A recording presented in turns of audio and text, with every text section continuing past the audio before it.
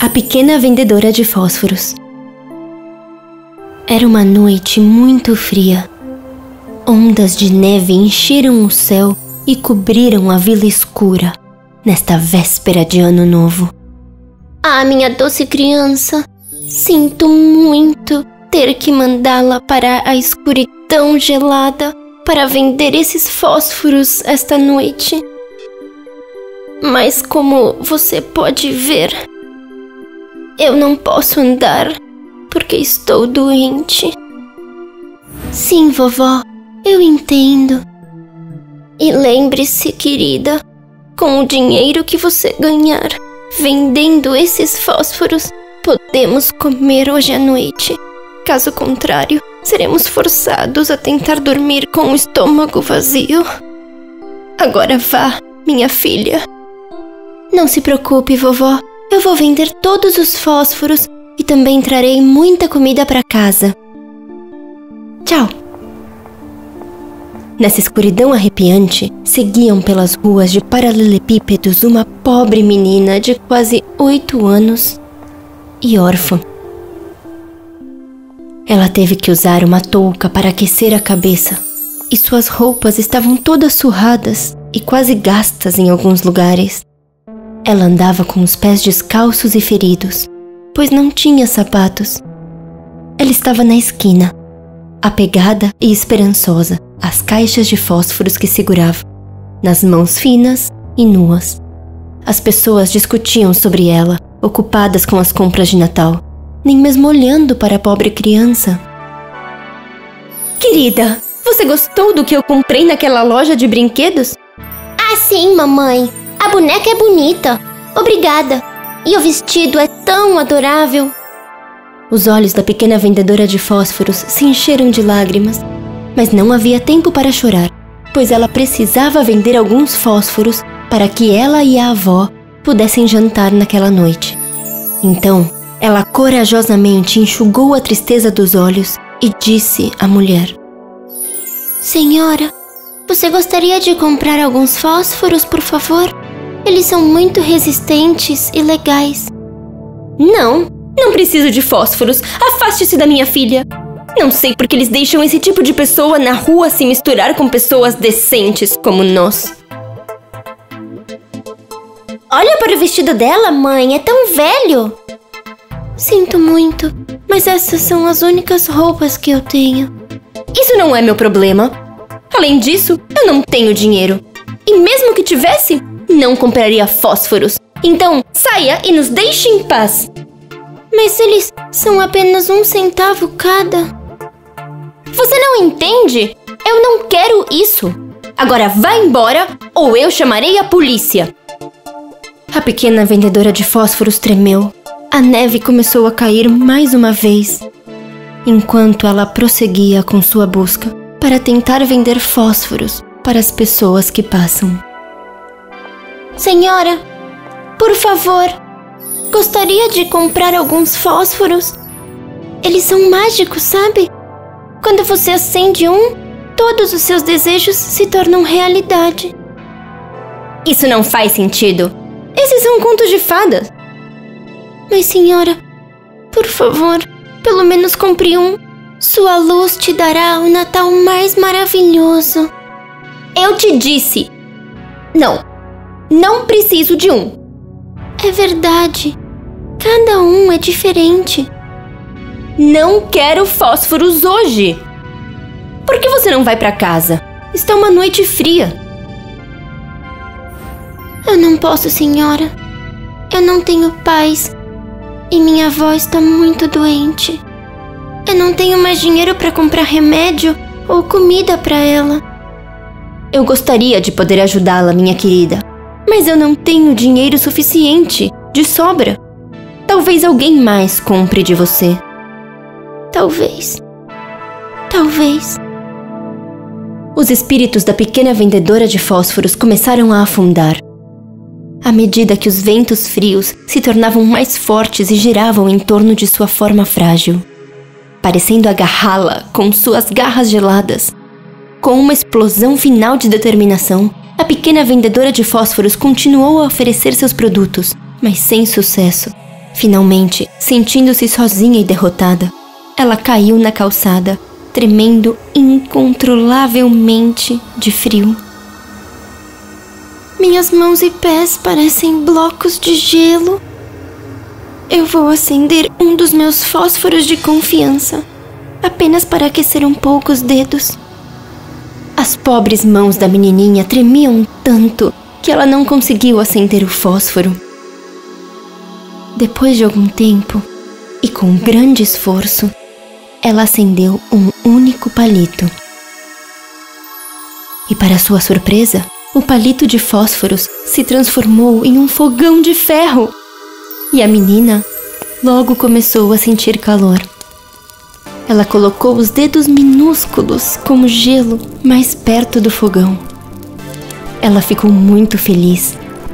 Mas alguns momentos depois, um floco de neve caiu sobre o palito de fósforo e o apagou. Então, ela se levantou e mais uma vez tentou vender seus fósforos. Infelizmente, nenhum palito havia sido vendido até agora. De repente, ela ouviu uma voz. Olá, garotinha. O que você tem aí para vender? Eu vendo fósforos. Gostaria de comprar um? Assim que ela se virou na direção da voz, ela viu uma velha sem teto parada em um canto, com seu cachorro magro. Ambos estavam tremendo de frio. Você não vê que eu sou tão pobre quanto você? Ai, Desculpa. Eu tenho que vender esses fósforos para conseguir um pouco de comida para minha avó. Pobre menina. Bom, por favor, cuide do meu cachorro para mim. Só vai demorar um pouco. Eu preciso ir e encontrar alguma comida. Talvez eu possa trazer um pouco de comida para você. Bom, pelo menos eu posso conseguir um pouco de comida para minha avó, mas por favor venha logo, pois eu tenho que pegar o remédio dela também. A pequena vendedora de fósforos concordou em cuidar do cachorro e a velha saiu, com a promessa de voltar o mais rápido possível. Ela segurava a coleira do cachorro enquanto ele se sentava em silêncio na esquina. Em pouco tempo, a pobre menina começou a tremer novamente. Ela pensou por um momento pegou a caixa de fósforos e arriscou contra a parede. Para sua surpresa, ela viu uma mesa cheia de coisas maravilhosas para comer, com peru, cordeiro, ganso, peixe, maçãs e bolos. Ai, eu gostaria de poder comer tudo. Eu me sinto tão tranquila nesse lugar. Assim que ela pegou um pedaço de bolo, a chama do palito de fósforo se apagou e tudo desapareceu. Ela ficou muito decepcionada. Ela olhou para o céu e orou. Ai, Senhor, por favor, me tire dessa tristeza. Eu estou com tanta fome e infeliz. Por favor, me ajude. Nesse momento, ela viu uma estrela caindo do céu e lembrou-se de algo que sua avó havia lhe dito. Vovó diz que quando uma estrela cai, alguém morre. Minha avó está muito doente. Significa que eu perdi minha avó? Ah, oi! Ela me amava mais do que qualquer outra pessoa no mundo inteiro. Ela pegou outro palito de fósforo e acendeu. Ela ficou surpresa ao ver sua avó parada na frente dela.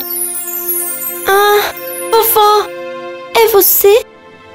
Sim, criança, eu estou aqui por você. A pequena vendedora de fósforos ficou satisfeita ao ver sua avó, mas ficou bastante alarmada, pois ela podia ver que sua avó estava flutuando no ar. Não tenha medo, minha querida. Eu estou segura e bem agora. Você não precisa mais se preocupar comigo. A pequena vendedora de fósforos abriu a boca para dizer à avó o quanto ela tentou vender os palitos de fósforo. Então, a chama do palito de fósforo se apagou mais uma vez e sua avó desapareceu. Desta vez, a pobre criança acendeu todos os palitos de fósforo de uma só vez, pois não queria que sua avó desaparecesse novamente. E o brilho era tão intenso que era como a luz do sol. Sua avó reapareceu e olhou carinhosamente para a pequena vendedora de fósforos, sorrindo. Vovó, eu tô com tanto medo. Eu não quero mais ficar aqui. Por favor, me leva com você. Sim, querida, eu vou levá-la comigo. Me dê a sua mão. A avó pegou a mãozinha da pequena vendedora de fósforos e a levantou nos braços. E as duas começaram a subir para o céu. Como você está se sentindo agora, minha querida? Ah, vovó, agora eu me sinto maravilhosa. Eu não sinto mais fome ou frio. Eu me sinto tão leve quanto uma pena. Vovó sorriu novamente e as duas voaram para o céu. E no mesmo instante, uma pequena estrela caiu do céu. No dia seguinte, quando o sol estava nascendo novamente, a pequena vendedora de fósforos estava sentada no chão, com todos os fósforos queimados na mão e um sorriso satisfeito repousando no rosto. Muitas pessoas olhavam para a pequena vendedora de fósforos sem vida na calçada. Todos sofreram pela perda da luz brilhante que a vida dela era para eles. Final. Se você gostou da história, curta e se inscreva no nosso canal e não esqueça de ativar o sininho para não perder nenhuma novidade. E claro, não esqueça de